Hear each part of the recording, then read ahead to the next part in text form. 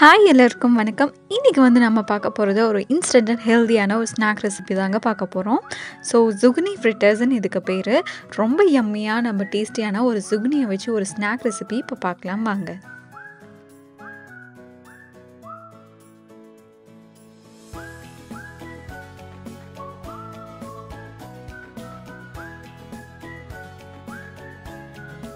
இந்த ஃப்ரிட்டர்ஸ் செய்கிறதுக்காக ஒரு ஜுகுனியை வந்து நல்லா ஷ்ரெட் பண்ணி வச்சுருக்கேன். அதே மாதிரி ரெண்டு கேரட்டை ஷ்ரெட் பண்ணி வச்சுருக்கேன். ஜுக்னி கேரட் ஃப்ரிட்டர்ஸ்னு கூட சொல்லலாம். ஜுக்னியை வந்து நல்லா தண்ணி வந்து ஷ்ரெட் பண்ணதுக்கப்புறம் தண்ணியை நல்லா ஸ்குவீஸ் அவுட் பண்ணி எடுத்துக்கோங்க. அதில் நிறைய தண்ணி கண்டென்ட் வந்து இருக்கும். இப்போ வந்து ஜுக்னி ஒரு கப்பு அப்புறம் பார்த்திங்கன்னா கேரட் ஒரு கப் அப்புறம் பார்த்திங்கன்னா ஒரு அரை கப் அளவுக்கு வந்து நான் நல்லா ஃபைனாக சாப் பண்ண வெங்காயம் அப்புறம் பார்த்திங்கன்னா ஒரு முட்டை வந்து ஆட் பண்ணிக்கிறேன். ஸோ முட்டை வந்து ஆட் பண்ணுறனால ஒரு நல்ல ப்ளஃபினஸ் கொடுக்கும். உங்களுக்கு முட்டை வேண்டாம்னா நம்ம ஸ்கிப் பண்ணிக்கலாம். இப்போ நாலு டேபிள் ஸ்பூன் அளவுக்கு நான் மைதா வந்து ஆட் பண்ணிக்கிறேன். நீங்கள் வந்து ஹெல்த்தியராக சாப்பிட்ணுன்னு நினச்சிங்கன்னா இதுக்கு பதிலாக நீங்கள் ஃபுல் அண்ட் ஃபுல் கடலை மாவு இல்லைன்னா நீங்கள் வந்து வீட் ஃப்ளவர் வந்து ஆட் பண்ணிக்கலாம். நான் நாலு டேபிள் ஸ்பூன் வந்து சரியாக இருக்கும். ஸோ ஒரு கப் அளவுக்கு வந்து சுக்னி ஒரு கப் அளவுக்கு கேரட்டுக்கு வந்து நாலு டேபிள் ஸ்பூன் வந்து கரெக்டான பதத்தில் வந்து உங்களுக்கு கிடைக்கும். பத்துலைனா இன்னும் கொஞ்சம் கடலை மாவு வந்து நான் ஆட் பண்ணிக்க போகிறேன் ஃபுல்லாக மைதா ஆட் பண்ணாமல் கொஞ்சம் கடலை மாவு ஆட் பண்ணாலும் கொஞ்சம் கலர் வந்து உங்களுக்கு நல்லா பார்க்குறதுக்கு ஒரு எல்லோயிஷ் கலராகவும் சாப்பிட்றதுக்கு நல்லாவே இருக்கும். நீங்கள் எக் எக்கை வந்து கம்ப்ளீட்டாக ஸ்கிப் பண்ணிடலாம். ஸோ இது எல்லாத்தையும் ஒன்று சேர நல்லா மிக்ஸ் பண்ணிவிட்டு நம்ம அதை வந்து டீப் ஃப்ரை பண்ணிக்கலாம். இல்லைன்னா நம்ம தவா ஃப்ரை பண்ணிக்கலாம். இல்லைன்னா நீங்கள் ஓவனில் வந்து வச்சுட்டு கூட நீங்கள் அதை பேக் பண்ணி கூட எடுத்துக்கலாம். ஸோ இது எல்லாத்தையும் இப்போ மிக்ஸ் பண்ணிவிட்டு நம்ம மசாலா பொடி எல்லாத்தையும் நம்ம இப்போ ஆட் பண்ண போகிறோம்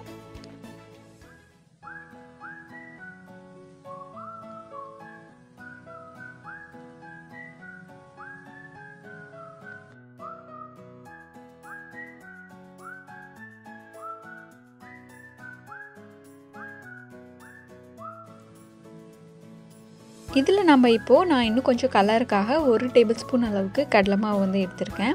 இன்னுமே வந்து உங்களுக்கு ஜுக்னி நல்லா நீங்கள் பிரிஞ்சு விடலைன்னா உங்களுக்கு தண்ணியாக வந்துகிட்டே இருக்கும். அதுக்கேற்ற மாதிரி மாவு வந்து ஆட் பண்ணிக்கோங்க. இப்போ ஒரு ஸ்பூன் அளவுக்கு வந்து இஞ்சி பூண்டு பேஸ்ட்டு வந்து சேர்த்துக்கலாம். தேவையான அளவு உப்பு. அப்புறம் காரத்துக்காக கொஞ்சம் சில்லி பவுடர் கொஞ்சம் கோரியண்டா பவுடர் ஒரு கால் டீஸ்பூன். கால் டீஸ்பூன் அளவுக்கு பார்த்திங்கன்னா காஷ்மீரி மிளகாய் பொடி வந்து எடுத்திருக்கேன் கலருக்காக.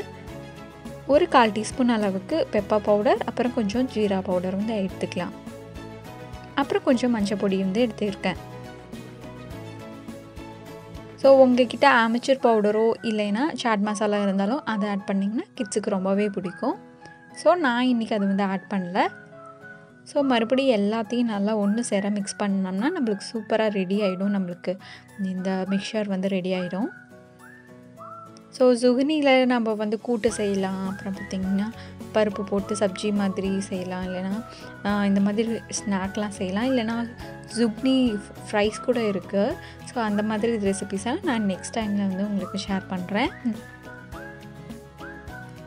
ஸோ நம்ம ஜுக்னி வந்து நல்லா ரெடி ஆகிடுச்சு எல்லாத்தையும் மிக்ஸ் பண்ணியாச்சு. இது கிட்ஸுக்கு பார்த்திங்கன்னா ரொம்பவே பிடிக்கும். கிட்ஸ் ஃப்ரெண்ட்லி ஸ்நாக்குன்னு கூட சாப்பிட்லாம்.